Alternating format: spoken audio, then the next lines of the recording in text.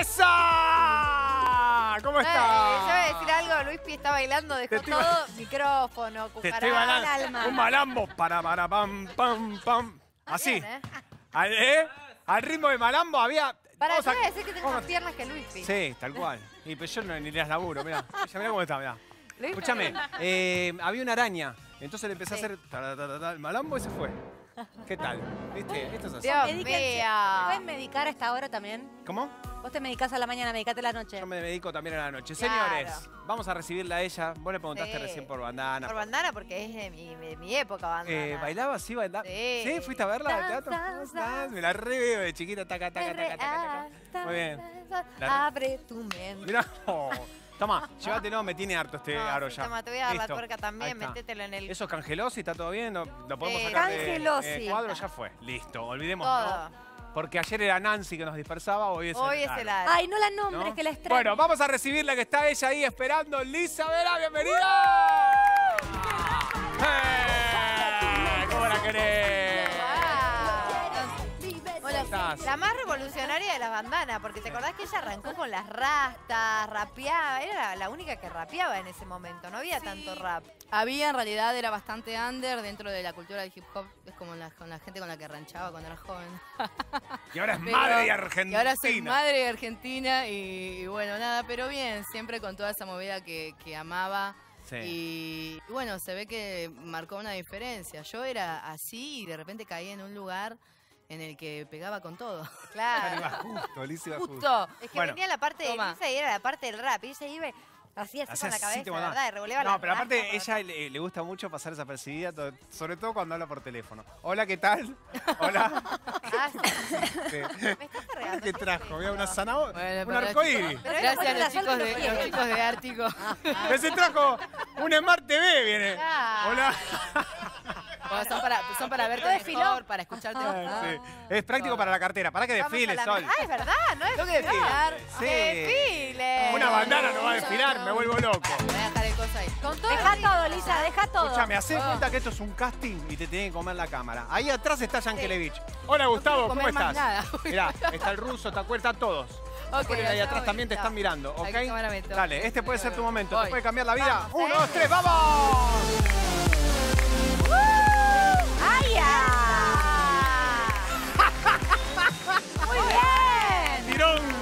Era, era, así, pero bueno, no salió. Me gusta. Hay que meterle. No porque me sale a la natural noche, Jueves a la noche se sale, jueves a la noche se va de joda. Ahí está diciendo Cuero, está contratada para el Claro, hay que, hay que meterle onda el Sí. jueves a la noche. Yo los miércoles ya caminaba por las paredes, ahora ya no camino por ningún lado. Che, ¿cómo te cambió la vida? ¿Cómo te cambió la vida? Es no? increíble, la verdad, que nosotros nos conocemos de, de hace muchos años, De nos otras hemos vidas. cruzado de otras vidas. Sí. Y, y sí, sí, los, los cambios fueron muchos, desde encontrarnos en, en la calle, de hacernos una nota, de perseguirnos, me acuerdo, pobre, nosotros no nos podíamos dar nota porque no nos da, no, no, nos No, se- no mantenían se podía así. por contrato. Claro, en realidad era por mantener un control. Imagínate que yo venía de venía de San Justo, podía decir cualquier cosa. Y entonces teníamos que cuidarnos. Había que cuidarse, las tenían Eh, cuidaditas. y bueno, y él nos seguía, pero igual, viste, siempre Siempre buena tiraban onda, una onda, tiraba sí. buena Y onda, Lisa, Siempre que- tiraba ¿Cómo una fue de pasar al boom que fue Bandana, que fue furor? Yo me acuerdo, hasta fui a ver la película, eh, eh, a, ¿Vos a la algo, desaparición Además de ver televisión, ¿hacías otra cosa cuando eras chiquita? Yo estaba muy enamorada de Rebelde Way, de las Por eso te digo. Ah, esa camada esa. Yo Ella- de esa cama- No paraba de mirar Claro, esa televisión. camada, Me claro. gustaba. Bueno, fui a ver la película. eh, me acuerdo que lloré mucho cuando a Lourdes se le perdió el perro. Pero, eh, para que vean que la vida es verdad. Pero bueno, quiero saber que, cómo fue eso, ¿viste? El boom a de repente A la la, nada. nada. No, no, la verdad que no, no estuvo mal porque fue por nuestra salud mental. Nosotras eh, pasamos por una, por una situación tan fuerte de vivir, de irme al chino a las 7 de la mañana en Ojota, ponele, en verano, obviamente, eh, a no poder salir a la ventana. Para nosotros fue muy fuerte el cambio. No sé, cada una en su, en su lugar, pero por lo menos para mí fue un montón. Que siempre me, me- me manejé con libertad, la vida, lo cotidiano, siempre amé mucho mi libertad. Y eso en algún punto me, me- me cortaba.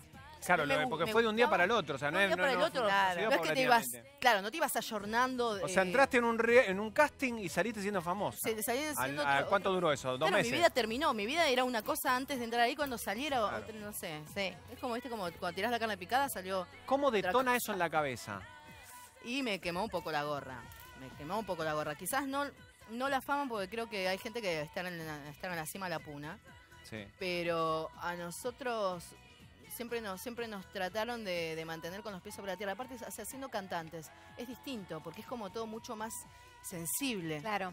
Entonces necesitas los pies sobre la tierra, la contención, necesitas otras cosas. Tenían Y- contención, por lo menos del lado de. Del lado, de, del lado de, de Gustavo siempre la hemos tenido. Él nos, de hecho, nos puso una psicóloga porque ya sabía que se nos iba a volar la teja. y nos puso desde un principio. Eh, Mari Calvo, que le mando un beso, que siempre, siempre nos ayudó con, todo, con todas nuestras inquietudes.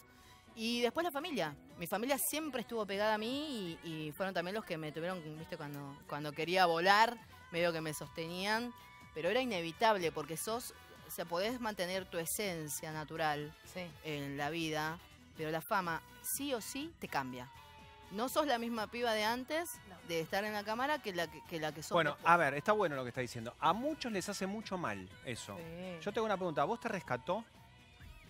Económicamente sí. Eh, y después personalmente en tu otra vida, ¿estabas media perdida o estabas bien? Eh, no, no, ya me, ya me había rescatado porque había repetido dos veces el secundario. Porque me escapaba con los de quinto. Por eso te digo, también esto eh, te, te- te va guiando porque tenés que tener una conducta, tenés que respetar Sí. horarios, tenés que eh, estar en los Era con ensayos. lo único con lo que yo era puntual. Eh, Tenía un ensayo y no sé, me tenía que tomar tres bondis y me iba y me lo tomaba para llegar al ensayo puntual.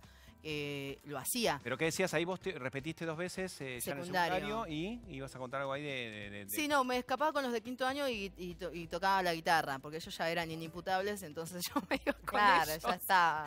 Entonces, o sea, yo ya sabía lo que quería hacer, sabía que tenía que estudiar, eh, tenía que estudiar el secundario, terminarlo, porque no podía ser un mono con navaja por la vida, digo, tenés que tener una base de, de estudio. Bueno, lo terminé con mi mamá el secundario, fue la única forma. Mirá vos. sí. Porque siempre me colgaba, o sea, porque me hacía amigos, me colgaba, me olvidaba que tenía que Claro. estudiar. Mi vieja me decía, me decía acordar, mirá que hoy tenemos eh, examen. O agarraba que el- santa. Sí. Y Lisa, ¿qué pasaba con Claro. esos amigos? Sí. Pues sos amiguera. ¿Qué pasó con esos amigos cuando no había tiempo? A mí en lo personal me pasaba que yo no tenía tiempo, Mm. cuando trabajaba en este tipo de cosas, de atender a mis amigos. ¿Qué pasó con esos vínculos? Y algunos se disolvieron, que no, que no que superaron menos que yo la fama. y, y otros eh, supieron esperarme.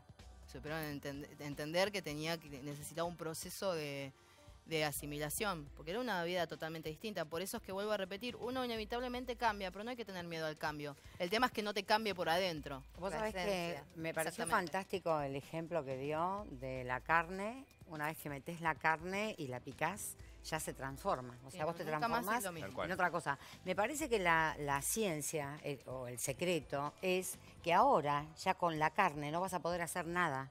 Pero con la carne picada, vos podés hacer cosas. ¿no? Claro. Con eso en lo que te transformaste, Sí. ¿Te sirvió para hacer unas buenas hamburguesas? Esto digo, ¿no? ¿Te sirve esto nuevo que tenés, que ahora es carne picada, ya nada más? Digo, hay gente que se, que se queda buscando aquello Sí. que fue y no lo va a encontrar. Nunca. Porque te acabas de transformar en otra cosa. Bueno, esto digo, por ejemplo, ¿dónde queda ahora la vocación y el canto y cómo lo acomodás? ¿Cómo acomodás? Eh, ¿Qué haces con esta hamburguesa ahora? La, la vendo y me hago una super cadena. Muy bien. Bueno, ahí está. Le encontré una pata comercial a todo. No está Para mal. ser millonaria con ese H. Claro. Imagínate, Viste cuando vos te acostumbras a una vida y a, y a Claro. darte todos los gustos, como era, me imagino, en el momento de bandana, pasar a, bueno, a ir, a ver, ¿de qué, de Se qué voy a laburar? presupuesto. ¿Te costó eso un poco? No, ¿De qué es la- laburaste? es la historia de mi vida. Todo el mundo tiene un momento que corta clavos, otro momento donde, donde te compras todo, donde me meto en una casa de ropa que no puedo nombrar, pero que, ¿Te dio alivio? de que hoy, hoy si me llego a parar en la puerta y na- nada, y sacan preguntarte con la escoba. Si te dio alivio cuando terminó el- el- la primera etapa de bandana, ¿sentiste alivio? Fue un poco raro porque sentís. eh, eh, te sent- no sé cómo, cómo explicar cómo debe ser porque era muy bebé cuando lo tenía. Un abismo. Pero cuando salís, sí, es como cuando salís de, de la panza de tu mamá y saliste al mundo y te encontraste totalmente Protegida. desprotegido. Una, esa sensación me, me dio el primer día. Pará, cuando se termina, la primera vez que se termina bandana fue la sensación No. que te quedó. Cuando se Digamos, terminó eh, Bandana- ustedes eran un éxito total, llenaban, pero Sí. donde se no podían andar por la calle. No, era una no cosa. eh, a ver, todos usábamos Yo el pañuelito en la cabeza, la bandana en la un cabeza. fenómeno igual a ese, ¿eh? Caminabas por la calle y te cruzabas a Piñero, con la que te perseguía con la cámara. Otra vez, otra A ese- vez, a ese otra nivel. Eh, sí, fue tremendo lo que pasó con ellos. La primera camada de Gran Hermano también fue tremendo. Digamos, fue un fenómeno así de ese tipo. No conozco hoy uno igual a ese, pero es verdad, se corta de golpe. Te dicen, bueno, esto es divino, todo muy rico, la carne una manteca, pero llegan, a- hacen este recital y se termina bandana. Al otro día se levan, te levantás Claro. y qué onda. Esa es la sensación que te quedó de vacío. Chicos, fue raro, fue raro porque en algún punto fue por nuestra propia voluntad. De hecho, nosotros nos sentamos con Gustavo para hablarlo y él nos, nos dijo que estaba bien, que le parecía bien. De hecho, por eso volvimos con él. Eh, y la, la sensación de, de no esperar que nadie te diga lo que, viste, que nadie te llame y te diga, mirá que te van a pasar a buscar a tal, o sea, en ese momento era como decir, ahora yo decido. Claro. hacia dónde voy. Esa es la sensación, que era un poco rara, no sé si de, de- de desprotegido, pero si no, como que no, no nadie te llama para decirte nada, que si no, la, la- ahora sos vos. Y el vínculo con las chicas, porque también hay que estar todos los días con un grupo que de Ay, repente pesadas, que son insoportables. son insoportables. bueno, pero en, en ese momento no te dio angustia dejar de verlas. De hecho, nos llamamos, no me acuerdo si me, me- me hablé con Vale o con Viri, y le digo, che, ¿cómo andás? ¿Cómo te sentís? Le dije, rara, me dijo. Eh, vale, creo. Y digo, sí, es raro, pero era como, como que se había terminado, es como cuando terminas el secundario en realidad. Terminó Claro. quinto B y decís, ¿y ahora para dónde voy? ¿Viste? Claro. Yo te pregunto de qué, de qué laburaste por el cambio económico, porque se habían filtrado unas fotos de Lourdes, eh, no sé si tomando un, un subte que todo el mundo habló de ahí el cambio de Lourdes, como que estaba dejada o que ya no tenía guita, por eso te pregunto cómo fue. Sí, Era un mendigo de la Edad Media. Eh, sí, la vi en la foto, no ridícula. Ah, bueno, la gente no se toma subte, ¿en qué Es ridículo eso. No, ridículo. El, el que, el que hizo eso... Pero Sí, tiene. es ridículo. Fantasma, pero bueno, fantasma. viste que a la gente le gusta el morbo como, ah, mira qué mal que está, le gusta como a Sí, la veces gente le- eso. sí. No a todo el mundo, hay gente muy buena también hay que decirlo, pero Sí, sí, cada hay gente que es mala. No hay que dejarse contaminar por la maldad.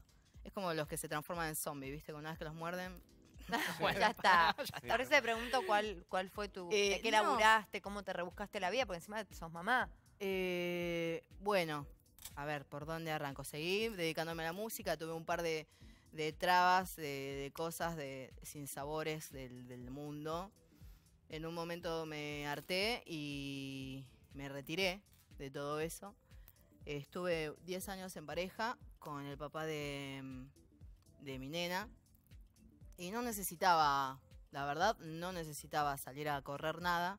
Así que si tocaba, tocaba tranquila, decía esta fecha sí, esta fecha no, o no, no me da paja, no voy, ¿viste? O sea, me podía tomar esas libertades, pero sí me abrí un poco del ambiente del espectáculo. Necesitaba retomar mi vida normal y además porque había apostado a la familia y necesitaba una vida normal.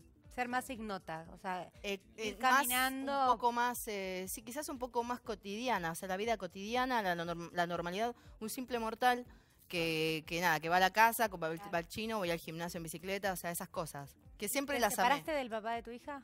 Estamos, y sí, me separé hace un tiempito, es la ¿Estás primera vez que lo No digo. sabía, ¿Estás separada? Me separé, ¿Hace sí, sí, cuánto te separaste? en febrero, En febrero. Muy poco. ¿Cuánto tiempo estuviste con él? 10 años. Diez años en total. ¿Qué pasó? No, no, no, la vida, o sea, nada, nada gracias a Dios, ni- ningún, viste, No, ningún Natalia, cuerno. Natalia dando vuelta. Natalia. Nada, nada. O sea, simplemente llegamos a un, buen- a un buen término y dijimos, bueno, se- no, ya está. ¿Tu hija Y cuánto tiene ahora? Cuatro años. ¿Y cómo lo tomó ella? Y fue un poco complicado. Yo le digo que ya no, con el papá no somos más novios, pero nos queremos mucho. De hecho, tenemos una super relación muy buena. Él viene a veces a casa. El otro día me dolía la cabeza y me, di- me dio un migral, así que a ese nivel está todo bien. Sí. No, no pasa Yo no nada. sabía nada que estaba separada, ¿no? No, es que no- nunca no- lo dije. Yo, viste que siempre guardo mis cosas. Nadie se entera hasta que yo hablo. Sí. Siempre me mantuve reservada. Cuento o cuento lo que quiero que sepan. Claro. Nada más. A mí me gustaría volver sobre algo que yo le llamo el termostato. Viste que vos pones en 24 el aire y por más que suba, baje, va a volver siempre. Vos dijiste antes, cortando clavos como siempre, vos le habías preguntado por lo económico, que nos importa muchísimo saber cómo haces con eso, porque tenés un talento. Y, este, cuando uno tiene el termostato en 24, no hay con qué darle. Eh, digo, si haces al- algo como para permitirte sentir que sos merecedora de, no sé si un éxito tal, me parece que tiene abrochado el éxito con los excesos, ¿no? Como si vos creyeras que haber sido tan exitosa y tan famosa y tan, ¿no? Como que no, nosotros pedimos, nosotras mismas pedimos, che, déjenos bajar de este lugar porque estamos con vértigo. Digo, hoy que estás más asentada, que sos más madura, Sí. eh, no, no pensás, no soñás con una carrera de cantante donde puedas ser madre, pareja, cantante, que las hay, que claro. las hay. Digo, te, te da la cabeza eso. Viste que a veces no nos da la cabeza para imaginarnos No, no, algo. no, te explota toda la cabeza y no puedes Claro, salir de ahí. pero a vos te da la cabeza como para imaginarte siendo una cantante con prestigio, con, con una buena economía. Eh, sí, de hecho lo soy. Eh, Lo soy. En este momento eh, estamos con Bandana. Después de la vuelta no paramos de tocar, no paramos de, de- de seguir cantando. Con más tranquilidad, quizás manejando nuestros tiempos, que eso es lo diferente. Claro. que no estamos constantemente eh, apareciendo en la tele diciendo nada. Eh, aparecemos cuando, cuando, cuando tenemos algo para decir. Claro. Eh, eso es, o sea, tra- tratamos de utilizar los medios de comunicación para, para dar, eh, para mostrar lo que nosotros claro. sabemos, lo que nosotros hacemos, lo que hicimos toda la vida, lo que hice desde chiquita en mi casa, escondida, pues me da vergüenza, me escuchan mis viejos, eh, cantar, siempre Claro. canté. Y ¿Le da es lo que seguimos haciendo.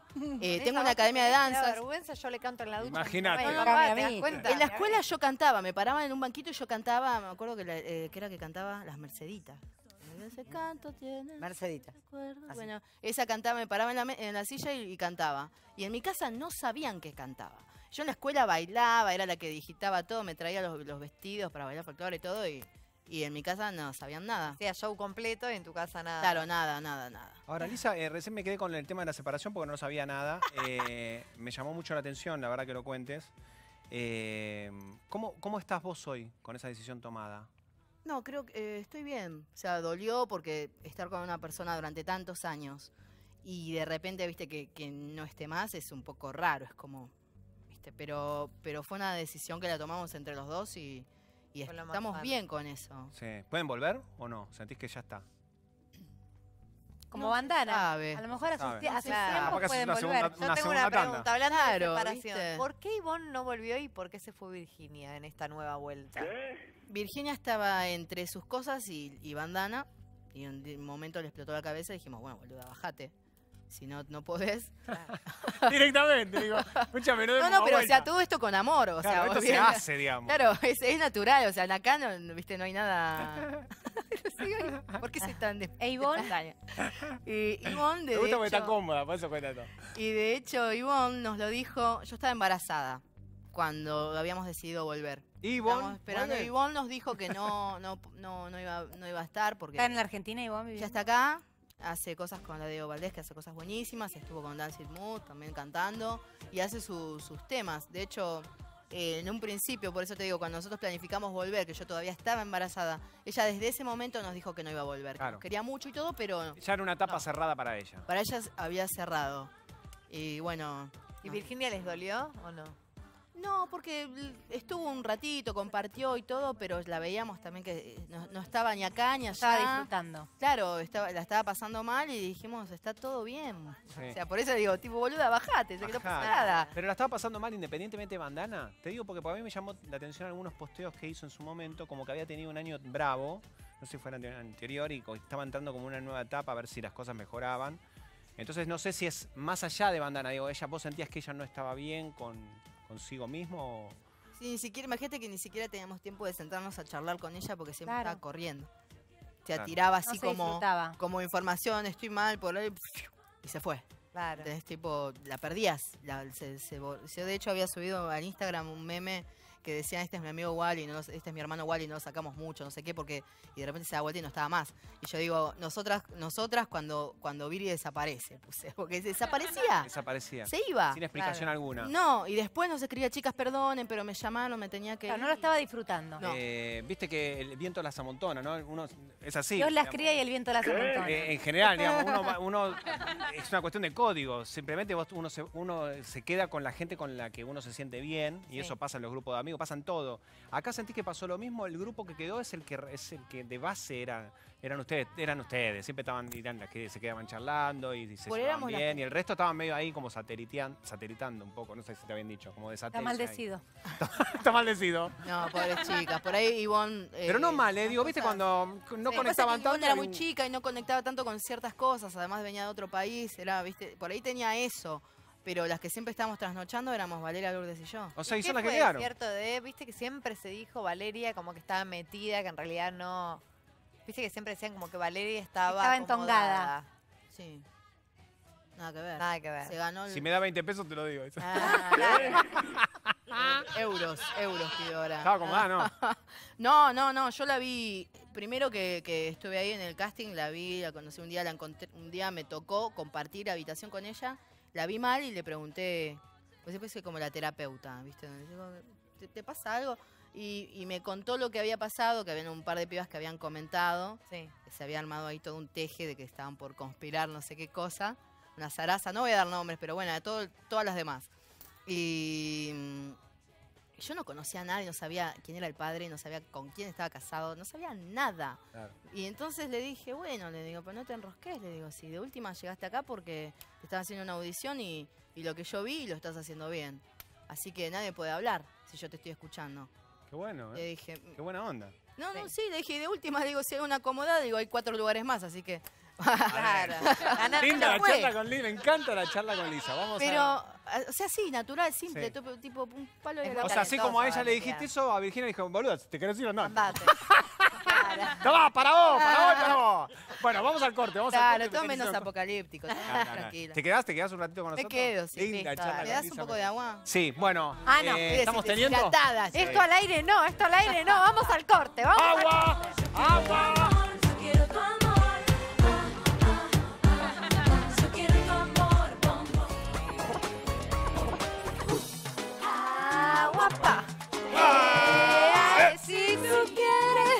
Dale, dale, dale, me encanta, mira. ¡Dale, animal! No temáis, no temáis. ¿Está bien? ¿Cómo tiene que ser, man? Le tiene- actitud. La No, ponemos un poquito más actitud, actitud, hay que la hay que actitud. sentirle ¿o no? lo- hay que sentirlo natural, que salga de adentro. Escúchame, y sin, eh, claro, sin, sin temor. Sin temor, no temáis. Nada, Sol, no te temáis. llaman. ¿Querés No temáis. Pará. No. Poneme de nuevo el tema. Y te está coacheando, mirá que te está Sí, coacheando. sí, sí, así. se- Va, ¿eh? Ay, pero no Sí, quiero. De arranque, de arranque, de arranque. Escúchame, pará. No se puede. Ah, que, ah, casi te entiendo yo. Poneme como estaba recién que vinimos a la tanda y me la va a coachar ella. Porque, ¿viste? Dale. Ahí te quedo, ahí arriba, rompera toda. ¿eh? Casting, casting con Sol Pérez, canta en vivo. Abre tu mente. Tras, tras, tras. Hoy tu sueño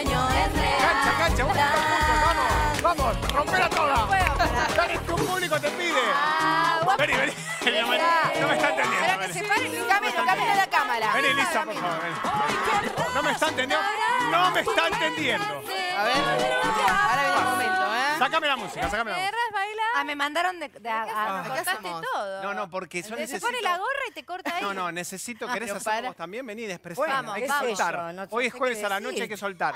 Lo que yo necesito, porque nunca se sabe de estas oportunidades dónde terminan. ¿Quién te Es dice verdad, que no termina sabes siendo... quién te escucha. Es... Uy, la ay, que siempre te decía. ¿Quién te dice que termina siendo Ay, la cantante de mala. ¡Basta! Bueno. ¿Vos también? sí. No, yo, yo estoy acá para verlas a ustedes. Peluca. Está, está Acuela, está el ruso, están todos ahí viendo a ver qué es lo que va a pasar con ellas. Mirá, ella Vamos. te va a coachear, ¿ok? Sí. Pero me haces un tímido, o sea, una tímida, perdón. Es como...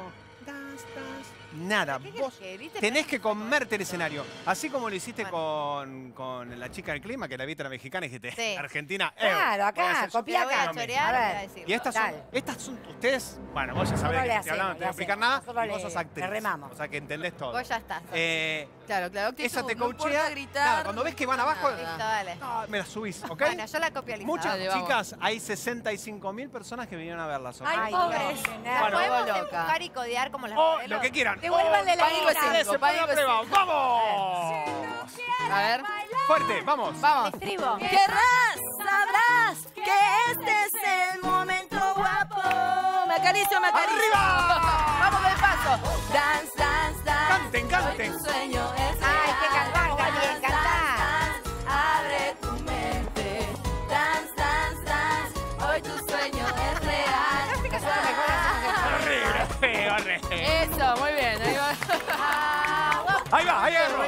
En esta agarrás. Ahora, cómete la cámara. Ahí, ahí, Ahí va, ahí. dale, vamos. Seguí, seguí, seguí. Sabrás que este es el momento. Y acá, me acaricio, me acaricio. Este es el momento de Abre tu mente, sientes libertad. Lo quieres, vive el presente, tú querrás bailar. Suelta tu cuerpo, déjate llevar. Vamos, Cari, vamos, pongo la cámara, me siento natural. La parte de Ah. te cuando viene, porque viene rápida. Excelente. No, no, igual te digo, cuando hicimos el. Hicimos toda la parte de, del casting. A mí me gustaba, me gustaba mucho el hip hop, me gustaba mucho toda la movida esa. No se enseñaba, no se enseñaba nada de No, danzas todavía no. urbanas en ninguna academia. Yo vengo de, la- de las academias que te, te enseñan tap, español, ballet y, y folclore. Sí. Y de ahí te se danzas húngaras y todo eso que, que lo tengo en algún chip dando vueltas. Quedó en algún lado. Pero no me acuerdo nada. Y bueno, cuestión que aprendí sola. Después empecé a conocer otros chicos de- del ambiente y empecé a aprender en, la- en las plazas y todo eso, así que fue como, como cuando recién surgía o se hacía un poco más eh, movido el tema del hip hop acá en Argentina. Sí, pero hay memoria celular, así que sí. todo eso que aprendió tuyo, en algún lado es lo está, tuyo. ¿eh? Es El clima es lo Sí. tuyo. Bueno, te El cambio, clima. clima sí, es lo tuyo. te cambio ahora sí de clima completamente. Vamos a hablar de un tema muy serio. eh, y sé que ella tiene una posición tomada también sobre el tema del aborto, la despenalización del aborto. Sí, es un tema serio que viene eh, acompañado de una buena noticia. A ver. Mi compañero de elenco, solo sabe porque era fan, Benjamín Rojas está esperando un hijo con Martina, su mujer, está de tres meses y medio. Eh, ella es continuista y también es pastelera. Y más allá de la felicidad que, que genera, él está empezando a visualizar los cambios físicos que implican un embarazo y decidió publicar en Twitter una carta que la vamos a leer ahora porque tiene que ver con lo que es el tema del aborto. Este, dentro de todo, no voy, no voy a leerla entera, pero lo que sí habla es de, de los Igual la, cambios la gente lo está viendo ahora en pantalla. sí. Claro, habla de los Sí. cambios físicos, ¿no? Y dice que, que es un proceso que le provoca admiración el tema del embarazo. Es interesante lo que dice él porque eh, deja muy en claro lo que nos pasa a nosotros, a los hombres, mientras. Sí. eh, porque no- lo, vi- lo vivimos, pero lo vivimos desde afuera. Entonces es muy difícil, ¿entendés? Entonces, eh, la mujer es la que, la, la que se embaraza, la que La vive- portadora. La portadora, la que le va creciendo la panza, la que siente la patadita, eh, la que tiene todos esos cambios hormonales. Nosotros acompañamos todo ese proceso eh, también con, con nuestros cambios, ¿viste? Y- Tocando muy de oído. Tocando muy de oído. hay que considerarlo. Sí, ¿eh? yo soy muy consciente. de Esto, para Sí. Luis, que te quiero... Eh, y acá él lo pone a flor de piel, por eso me gusta lo que puso en la carta. Sí, sí, esta parte es importante, perdón que te interrumpí. Dice, qué loco como algunos opinan de la mujer y su embarazo o su aborto, sin tener pip idea de lo que se siente físicamente, puesto que no somos del género, esto que decías vos. Con una seguridad como si hubiesen pasado por eso. No me entra en la cabeza que la mujer tenga que pedir permiso para poder ser dueña de su cuerpo. Te juro que escucho todo y a todos. Y no, sigo sin entender. Ojalá sea ley. Muy bien, esto es lo que dice él, ¿ok? Eh, el ojalá sea ley marca su postura. Igual ojo porque abortar también es un cambio hormonal para una mujer, un- tiene un trastorno Él está hablando de la psicológico, o sea, no es posesión. que solamente tener un hijo es, para la mujer todo es un, te pasa hormonal, todo. Por eso, por todo, eso, pará. Por eso yo marco es el, el oja- eh, remarco el ojalá sea ley porque me parece que ahí es donde sabes hacia dónde va dirigido. Porque si no, antes vos vas este, eh, eh, escucha- eh, leyendo Sí, lo ese relato, acompañando. lo vas acompañando que puede ser de un lado o del otro. Claro. ¿entendés? De Sí. aquella mujer que toma la decisión eh, por, por, evidentemente por una situación complicada, porque nadie va a querer eso, este, de abortar, o si no, aquella que ni loca pasa por eso. Y ahí es donde él toma su postura. Vos, de- no- vos tenés una postura también bien, bien Sí, marcada. Sí, sí, sí, marcada y generalmente intento no entrar en discusión porque es algo que es personal mío. Eh, yo estoy totalmente en contra del aborto desde Sí. siempre. Sí. Eh, he vivido, eh, he visto amigas que han pasado por esa situación. Y, eh, o sea, una amiga de la infancia, te digo, ni siquiera voy a dar el nombre. Ahora no somos tan amigas, pero por cosas de la vida.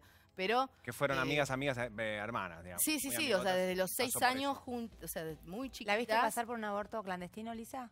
La, la vi pasar, de hecho yo me había enojado mucho con ella porque eh, tenía un, tenía un discurso en un principio, después apareció con otro y me, y me sorprendió. eh, pero digamos que yo, bueno, bueno, le dije, bueno, vos sabés lo que yo pienso, me parece que te estás precipitando. Y le perdí el rastro, me, me- nada, me bloqueó el teléfono, todo, desapareció un tiempo. No la vi por un año. Al año me escribe y me cuenta lo que le pasó. Me cuenta que se, está- se había arrepentido mientras estaba anestesiada, pero no podía ni hablar. Decirle, Wow. paren. Eh, es, uf. Uh, es muy fuerte lo que estás contando. Sí, sí, es, es heavy. Es heavy. O sea, yo no. Ay, perdón. No pasa nada. em, yo fui mamá. O sea, yo desde que del momento en el que me dio eh, positivo el, el, el Evatez, lo festejé. O sea, no puede, eh, para mí, eh, por eso vuelvo a decir, esto es muy personal, yo no estoy preparada para discutir una situación con alguien que tiene un speech, por ejemplo, pero sí tengo algo que es el que digo esto un rotundo no. Me parece que no. Hay muchos motivos, los cuales yo prefiero no meterme ahí porque voy a hacer un poco de agua y no me da para arruinar algo que eh, personas pueden hablarlo y explicarlo de, buen- de una manera fehaciente. Ujú. Entonces, yo recuerdo esto y se, y se me pone la piel de gallina. Porque ella me dijo, yo me arrepentí, estaba anestesiada y no podía decir que no lo hagan. Y sí, sentí todo.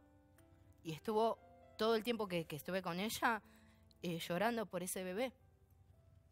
O sea, llorando. Nunca más te recuperas. No puede ser que... O sea, tenés que ser un monstruo para que te chupe un huevo, sacarte, o sea, eh, así hacerlo tantas veces y, a- y decirlo y vociferarlo. Yo no juzgo a la persona que llega a esa situación. No la juzgo porque hay varios motivos. Sí. Uno, para llegar a ese, a, ese, a ese momento, te tiene que pasar muchas cosas. Lo lamento, no juzgo a las personas que, que lo, que lo hacen porque algo, algo le sucedió, pero me parece que no. Lo que no me gusta es le- esta, violencia y esta agresividad que hay de la gente que piensa lo contrario, que, que buscan, no entiendo el doble discurso. Vos buscás la igualdad o, o que, te- que respeten tu pensamiento, pero vos te pones violenta, te Bueno, cagan eso a igual no son las mayorías, digo, ¿entendés? siempre pasa Me que hay grupos extremistas, digo, en todo, Prenden en fuego to- patrulleros, digo, ¿qué? Pero, pero te- eso te entiendo, siempre siempre termina ¿Viste? pasando eso, digo. claro, porque... Y sin buscar convencerte, a mí me parece que es válido, a ver, yo estoy a favor de la legalización del aborto. Claro, sí. eh, y, Bueno, y te no- puedo hablar en el grupo. Claro, y no busco convencerte a vos de lo contrario, porque vos tenés algo personal y yo puedo tener algo personal que a mí me toque a favor de eso. Igual entiendo, sí, que hay muchos grupos extremos constantes, ¿no? El que termina quemando un patrullero. Entonces, esto se convierte, como decía ayer Marcela Feudale, en un combate, los celestes contra los verdes. Y estamos perdiendo el foco de la discusión. Sí, por- por- ¿no? Ahora, eh, ¿qué, qué edad tenía tu amiga cuando tomó esa decisión? Tenía casi 30. Ah, grande ya. Sí, sí, sí. Sí, sí, la tenía casi 30. Em, pasó hace un par de años y, y bueno, fue bastante feo porque después ella me llamó y bueno, me contó todo eso. Al final después se pudo reconciliar con la persona que era el padre de ese bebé. Se pudieron casar y hoy, hoy por hoy tienen dos hijos. Mira vos. Así que, pero de eso jamás se va a olvidar. Y la persona no, no, va, no se va a Eh, olvidar nunca. ella no se olvida más y evidentemente vos tampoco. No. Y está bueno que tengas tu postura. También, también Yo tengo pasó, una, Luis, que... una conocida también que abortó y el trastorno psicológico que te queda es grandísimo. gravísimo. Y a mí me parece frío la gente que dice, yo aborté tres veces. Porque no, eso bueno, me por- parece un decís, espanto. pero por favor, o sea, Eh. no demos este ejemplo porque tampoco está bueno. O sea, no está bueno, me parece que no está bueno eso. No está bueno y no hay que decirlo. Yo aborté tres veces. Es lo mismo que comer un Ah, pastel. yo aborté. puede pasar una vez, pero tres veces me parece un montón. Bueno, digo, en, en la Viña del Señor hay de todo. Digo, una de las representantes de, no sé si, si decir que vos estás en la postura de los pañuelos celestes, yo la verdad es que estoy a favor de la legalización, pero no salí con el pañuelo. Yo Eh, tengo mi pañuelo celeste eh, guardado, me lo han regalado y lo, lo tengo. Lo tenés tengo- anudado. sí, lo Bueno, tengo. Amalia. Granata eh, tuiteó. Por eso, digo, una de las representantes. fuerte, además, lo que una de las representantes es Amalia Granata. Mira, este es el tuit. Tuvo un tuit un poco desafortunado. Dice, ni Mia Farrow haciendo de Rosemary se le ocurrió abortar a su bebito que era el mismísimo hijo del diablo. Hashtag salvemos las dos vidas. Bueno, vos que tenés esta posición bien tomada, ¿cómo lo lees esto? ¿Te parece que está bien el mensaje o...? Mm, no sé, porque hay que ten- tendrá que estar en la cabeza de ella, pero ¿Te pasa que ella está, ella está un poco más, ella está un poco más radical que, que, bueno, que está por ahí, se puso, se puso al frente de, de esta de, de esta situación. Bueno, también pasó algo heavy, le sal- perdió el trabajo. Claro. Entonces Sí. me parece que lo de ella es un poco mu- es poco más firme. Yo Claro. marco mi postura Desde lo personal. desde lo personal Claro. y bueno, cuando me lo preguntan te lo digo y si me preguntás qué hacer y yo te digo y no lo hagas. Perdón, no solamente perdió el trabajo, sino que en su lugar se colgó y se sacaron fotos colgando fotos de un gato, que es el, un personaje de Canal 9. Me parece que no sacás fotos cuando está colgando un cartel. O sea, le sacaron la foto de Amalie, pusieron la foto de El Gato, que es un personaje de Canal 9, le sacaron fotos a esa situación. Sí, eso lo de colgando ahí. Eso también es como un doble mensaje que no está bueno. Silvia, me eh, parece. Entonces el vos tema- defendés la vida y tenés una, postura, pero también denigras a la mujer. Claro. Me gustaría que lo cierres vos, Silvia. Eh, me, me parece que no tenemos que dar versiones personales porque se trata de leyes y, y las leyes lo que buscan es otra cosa, es tratar de ordenar algo que va más allá de mi caso, tu caso, el caso de la otra. ¿Cómo ordenar algo donde el Estado no puede, no puede intervenir, no tiene forma? Eh, porque no tiene, no me, tiene me plata. parece ¿Cómo que lo que se pide cuando se pide la Para sacarte un cáncer están despenalización seis meses. eh, no lo sabemos si no complicado. mezclemos, pero digo que eh, va mucho, yo te lo puedo cerrar así, Sí. va mucho más allá de nuestras experiencias personales. Me parece que no cuentan las experiencias personales. Em, la ley tiene que pensar en otra cosa, por eso la ley no, Pero- no, no puede medir las emociones. Vos podés sancionar una ley, pero no tener, no tener para poner- ponerla en práctica, como es la ley de educación sexual. Está Mm. sancionada, o sea, ya, ya está la ley de educación sexual. No se puede poner en práctica, no la ponen en práctica. Claro. Sale la ley del aborto. ¿Pueden ponerla en práctica? Imposible. Eh, Es imposible. Cortito Hay que nos que que ir, chicos. Se van que a- yo muchísimo. te digo la verdad, se mucho van a salir complicado. chicas y se van a descompensar en el camino porque no tienen, o sea, no hay lugares para internarse, no hay, lugar- no hay, no hay nada. Ay, no hay Bueno, como ves, el espera. tema da para seguir. Es más, lo vamos a seguir charlando. Que venga Lisa otro día. Eh, Silvia, gracias por venir. Gracias. Gracias. a ustedes. Lindo que Gracias. Siempre. Y Lisa, vos sabés. Mi Cosa corazón que yo te quiero también, mío, ¿Eh? que está Te contigo. mucho. Estamos muy venir, contentos cuando sabíamos Sí. que, que venías acá. Simplemente pasamos por todos los climas, te diste cuenta. De eso se trata este programa. ¿eh? Con Lisa Capo de invitada también. la chica del clima. Entramos, Claro. entramos, nos divertimos, la pasamos bien. Estamos ¿por qué hablando en serio con cosas tan duras como esta. que la ¿sí? contrataron. Bueno, nos vamos. Nos vemos mañana. Hasta mañana que es viernes. Chau, chau, chau, chau. A salir hoy.